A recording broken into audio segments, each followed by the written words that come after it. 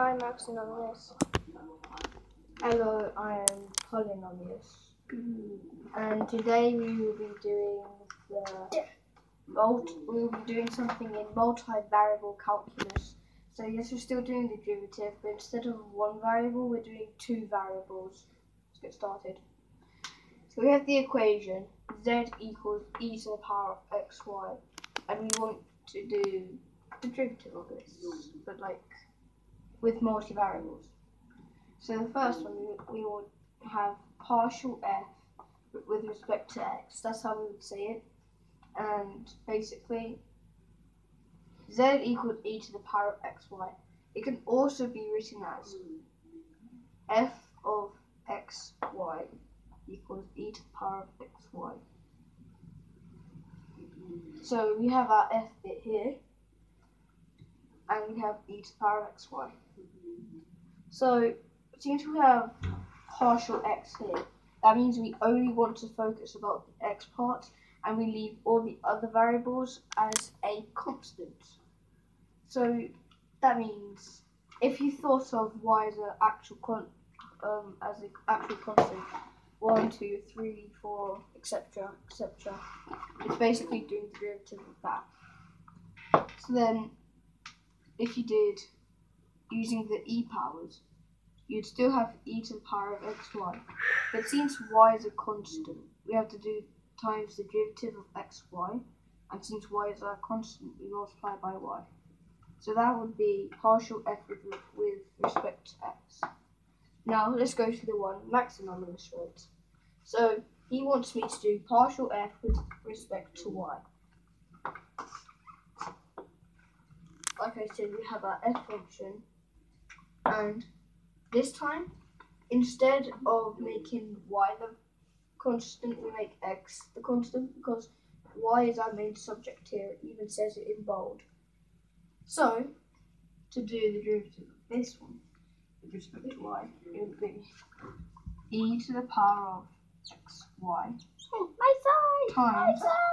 since we have y here, x is the constant, so times the derivative of xy, which would basically be timesing it by x, since x is the constant.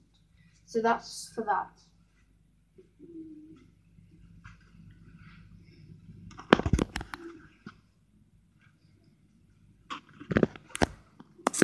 Second derivative. So now we're going to the second derivative, because like with derivatives, we have second derivatives, third derivative, deri- derivatives. And then a hundred de- derivatives Exactly, eventually. exactly, Maximilian. It will That goes up to unlimited derivative and it keeps on going unlimitedly. There's no number for it to finish. I know, just keep going and going and going and going and that's going. Yeah, I just said that. Like the very hungry caterpillar keeps eating and eating. Yeah, that's what I said. I'll How can we do the notation? Notation. Let's break it down. Yes. We must break it down first. Like with the derivative, we have dy dx. If we wanted to do the second derivative of this, we would do d squared y with respect to dx squared. Right? So the same can apply here with the curly d's and stuff. So the first one, the obvious one, curly d, Dolly D. Uh-huh. Haha. I borrow one of my hands. Oh, there we go. and then we'll do squared f over curly d x squared. So we're still focusing on x and we want to take it from the original one here because it's dx squared. And since it has relation to x, it should be to do this. So basically I you just do the multivariable derivative for this one again. So since we have x, that usually that means that we're treating what every y as a constant. We don't have to do the product rule here because y is a constant. E to the power of this y. We already know the derivative of e to the power of xy would be e to the xy times y. So then y times y times e to the power of xy.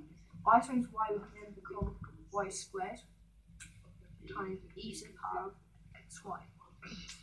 Now here comes the slightly more complicated one, shall we say.